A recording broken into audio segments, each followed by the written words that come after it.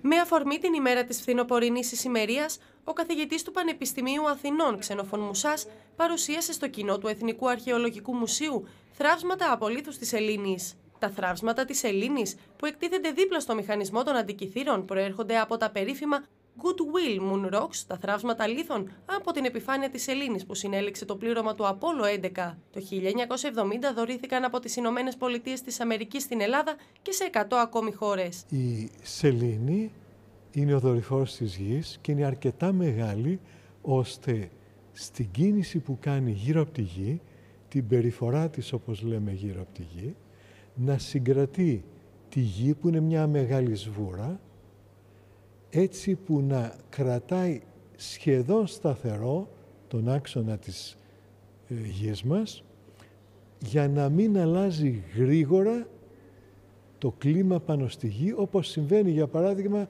στον Άρη. Αν η γη δεν είχε τη σελήνη δεν θα είχαμε σταθερό κλίμα, συνεπώς δεν θα είχε αναπτυχθεί πολιτισμός πιθανότατα.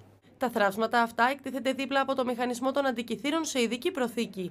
Η συμβολική τους τοποθέτηση δίπλα στο μηχανισμό υπενθυμίζει τη σημασία της Ελλήνης στην αρχαιότητα για πολλές ανθρώπινες δραστηριότητες όπως η αλία και το κυνήγι που εξαρτώνται από τις φάσεις της. Η ανάπτυξη ημερολογίων με βάση τον σεληνιακό μήνα και η μελέτη της κίνησης του πιο γνωστού ουράνιου σώματος με αστρονομικά μοντέλα αποτυπώνεται στο μηχανισμό. Στον μηχανισμό των αντικειθήρων, που είναι με βεβαιότητα το αρχαιότερο πολύπλοκο μηχάνημα που έχουμε οπουδήποτε πάνω στη γη, ο αρχαιότερος υπολογιστής όπως τον ονομάζουμε, ένα μηχάνημα που προβλέπει ακόμα και σήμερα σωστά όλα τα αστρονομικά φαινόμενα που ενδιαφέρουν έναν άνθρωπο. Έκανα μια εμπεριστατωμένη ανάλυση από τότε που έγινε η έβρεση του, του μηχανισμού των αντικειθήρων, τον ρόλο του το ρόλο του στην ε, εξέλιξη της επιστήμης από την αρχαιότητα μέχρι και σήμερα, όπως επίσης και πώς λειτουργεί ο μηχανισμός. Οι παρουσιάσεις των εκθεμάτων θα επαναληφθούν την Κυριακή 6 Οκτωβρίου στις 12